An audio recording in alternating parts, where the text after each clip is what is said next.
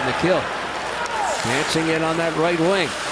Off the skate of Murray. Bouncing puck. Yandle shovels it ahead. Ekblad in front. Tip. Korpisalo the save. Outstanding split save there off the left pad. And the Jackets able to send it to the line and out. Wow. Korpisalo again with a big stop, and the penalty comes to an end as Josh Anderson steps out. The Jackets have got a break. Here's Panarin. Walks in, scores! Jackets kill off the penalty and then go up 2 0 on the breakaway goal by Panarin. Well, Korpisalo here.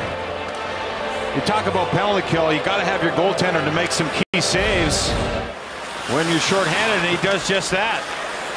Korpisalo is going to make the initial save as a cross-ice pass, and then Mulligan has got an empty net, and he misses it. And then from there, Sedlak and company go to work.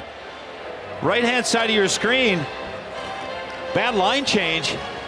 And as the play is up, Panarin scoots to the middle of the ice, and the puck is on his stick, and, well, Panarin one-on-one, -on -one, top shelf, two-goal lead here for the Blue Jackets.